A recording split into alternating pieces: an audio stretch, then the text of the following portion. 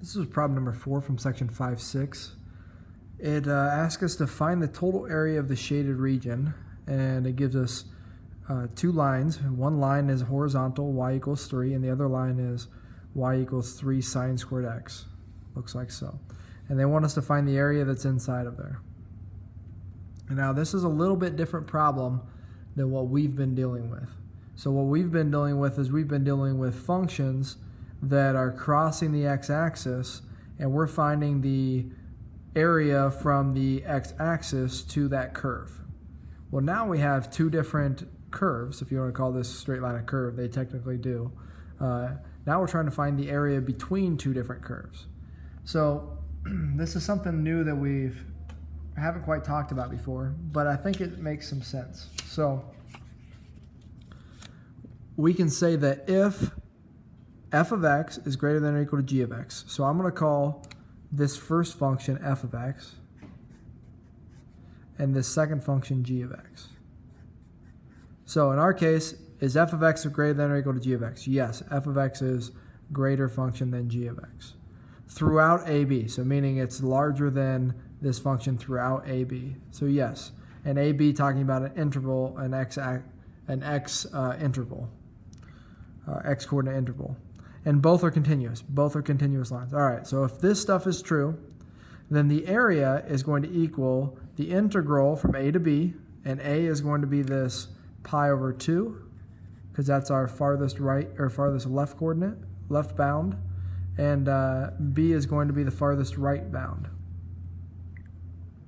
And obviously the function's the upper bound, and this is going to be the lower bound, which is the 3 sine squared x. Now, it says that if we take f of x minus g of x, the integral of that, we're going to get the area. Now let's think about this. In previous problems, we were technically doing this. The only difference was f of x was our function that was crossing the x-axis, and g of x was actually the line y equals 0, essentially. So the line y equals 0 was our g of x function. Well, if we put 0 in for g of x, it's not there. So it was just integral of that original function. So I hope that that kind of makes some sense, that we are doing this. We just had g of x at 0 because y equals 0 is the x-axis. All right, now that we've got that taken care of, let's actually use this uh, formula to then solve. So I'm going to kind of set the formula up here.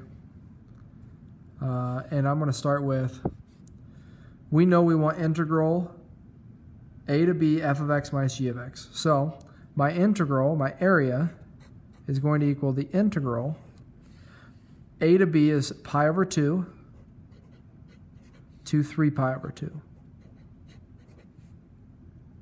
My f of x is 3 minus 3 sine squared of x dx. All right. Now this is where we have to start to use some trig stuff. So my original thought was, can we do a u substitution on this? Well, let's just say we write this as sine x squared, and then we do u equals sine x. When we do the derivative of sine, we get cosine, and then we throw that in there. We're actually not canceling anything out, so we're not going to be able to do a u substitution there. I hope you can kind of see that. Um, so then we have to think, is there a way to rewrite this so that we can get rid of the square? Well, I think the first thing to do is to factor out a 3. So let's go ahead and do that. So we end up with 3, the integral from pi over 2 to 3 pi over 2. And that would be 1 minus sine squared x dx. Now you'll notice that uh, we have 1 minus sine squared x dx. Well, if we bring back out the Pythagorean identities, we can see that sine squared plus cosine squared is 1. So if we subtract the sine squared over, 1 minus sine squared is actually just cosine squared. So I can rewrite this as cosine squared. So I can say equals 3 integral pi over 2 to 3 pi over 2. And this is cosine now squared x dx. All right, so then we can go ahead and we can think to ourselves, how can we get a squared function? All right, how do we get a squared function to go from being a squared function to not having a square? Well, it's kind of weird. It's like, what the heck can we do there? Well, if you remember back to our trig cheat sheets, you'll see that we had different formulas. There was half angle formulas and there was double angle formulas. And the double angle formula, formulas essentially allowed us to reduce the power of a trig function. So in our case, because we have a square, we're trying to reduce that power down to basically being non-existent. Well, they may, there's this uh, trig function that says cosine 2x, this is a double angle formula, cosine 2x equals 2 cosine squared x minus 1. So if I take this identity and I rearrange it, all right, and I'm going to rearrange this a little bit so that it says cosine squared x equals something. I can rearrange this, and I'll do that down here. Cosine uh, 2x equals 2 cosine squared x minus 1. I add the 1 over, so it's cosine 2x plus 1 equals 2 cosine squared x. Divide the 2, and I'll end up with cosine 2x plus 1 all over 2 equals cosine squared x. So now I can take this, using that double angle formula, I can take this and replace it for the cosine squared. And why, why is that important? Well, now I don't have that square there on the cosine. I can now use a u substitution to solve this. So let's plug that in. That's going to equal 3 integral pi over 2 to 3 pi over 2. And we're going to now say that this is cosine 2x plus 1 all over 2 dx. I'm going to factor out this 1 half and bring that out front. So that's now going to be, I'm going to give myself a little bit more room. So 3 halves integral pi over 2, 3 pi over 2. And then that is now cosine 2x plus 1 dx. Now I have a function inside of a function, so that's where I'm going to use my u substitution. I'm going to say u equals 2x. So du over dx equals 2. Multiply the dx, divide the 2, I get du over 2 equals dx.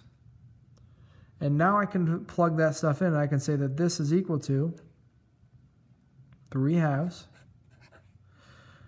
integral pi over 2 to 3 pi over 2. And this is now, when I plug it in, I'll get cosine u plus 1 times du over 2. Now I can take that du over 2 and I can bring that out front and do the integration at the same time. So the half comes out front, that's going to be 3 over 4. And now let's integrate cosine u and 1. Cosine u, let's see what the integral of cosine u would be. Well, the integral of cosine, come back to our derivatives, integral of cosine would be sine. So this is going to give us uh, 3 over 4 sine u plus u. When we integrate the 1, we get u. And this is going to be evaluated from pi over 2 to 3 pi over 2. Now I'm going to slide up a little bit. So now I'm going to continue this. So I'm going to say that this is now equal to 3 over 4 sine of, I'm going to replace the u with 2x, so sine 2x plus 2x.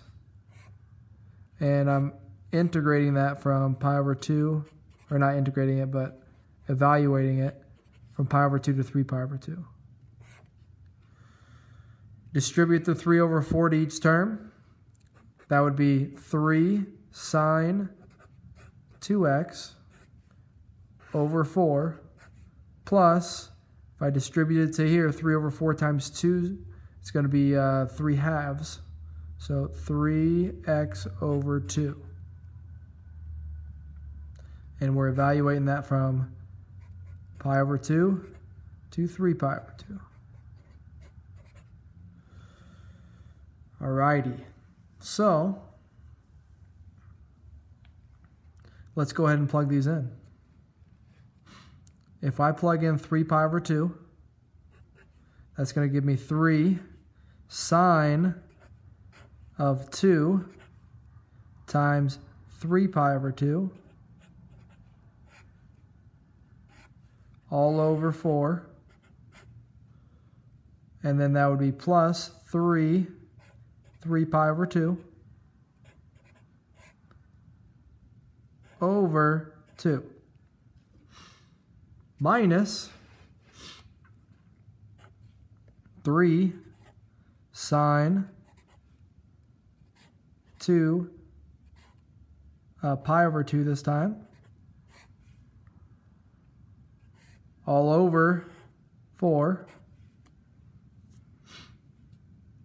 uh, minus, because we're subtracting them both, right? So minus, uh, well, it would be 3 times pi over 2 over 2. All right. Let's continue here. And we can say that that equals, so if I multiply my 2 times 3 pi over 2, I just get sine of 3 pi. So I get 3 sine of 3 pi over 4 plus, uh, that'll give me 9 pi over 2 over 2, which is 9 pi over 4, minus, this gives me 3 sine pi over 4, minus, well, this is 3 pi over 2 over 2, which is 3 pi over 4. What is sine of 3 pi? Well, sine of 3 pi is, uh, that's basically at 180 degrees, so that's 0. So this cancels out. So that equals 0 plus 9 pi over 4 minus sine of pi we know is 0, so minus 0 minus 3 pi over 4. And we end up with 6 pi over 4, which is 3 pi over 2. And that's the area for our original function, our original integral, which was 3 minus 3 sine squared x. Hopefully that makes sense.